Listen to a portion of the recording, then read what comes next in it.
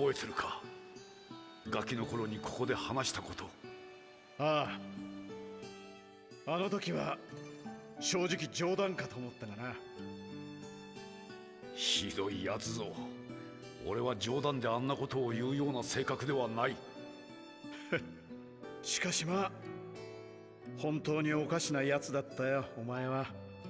子供のために学校を作り兄弟が死なない里を作るだったが。うん。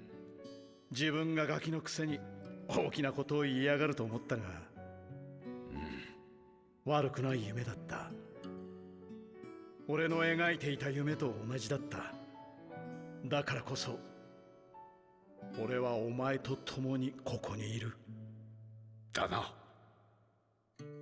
この葉隠れの里か今の俺にとってこの里は守るべき大切なものとなった。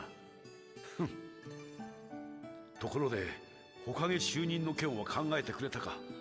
何？あれはマジな話だったのか？てっきり冗談だと思って流していたが。何を言ってる？俺は本気ぞ。火影役にはお前が適任。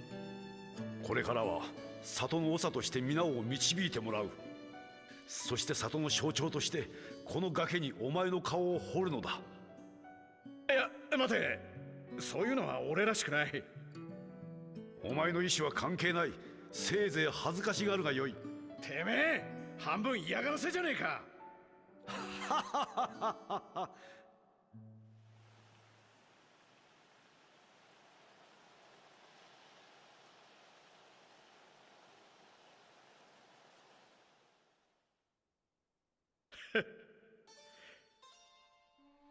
随分と様になってるじゃないか。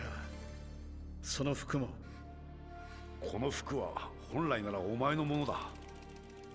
俺は今でもお前こそが火影にふさわしいと思っている。違うな。ことは民主的に決まったことだ。民はお前を選んだ。お前が火影だ。まだらこの石碑これは内派に代々伝わる石碑。解読するには動力が必要な特別な読み物だ。今俺が解読できるところまでにこう書いてある。一つの神が安定を求め陰と陽に分極した。相反する二つは作用し合い神羅万象を得る。つまり相反する二つの力が協力することで本当の幸せがあると歌っている。だが別の捉え方もできる。ん？まあいい。今のお前に話しても無駄なこと。どういうことだ？柱間俺は里を抜ける。お前とはここまでだ。あななぜ？この里に誰も味方はいない。誰も俺を認めない。俺はお前なしではやれない。火影の右腕として兄弟として協力してくれ。いずれ民もお前の良さに気づく。その時二代目火影としてお前の後おそらく扉間が火影となろう。そうなれば内派はいずれ消されていく。それが分かっていて里を出るよう内派の他の者に声をかけたがこれ以上は無理だ。俺は里を出ていく。俺は別の道を見つけた。待て。今は皆がお前を誤解しているだけだ。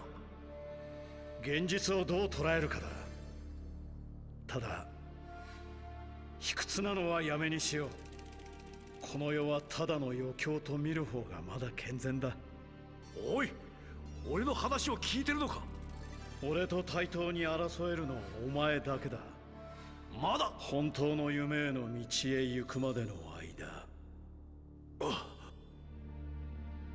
お前との戦いを楽しむさ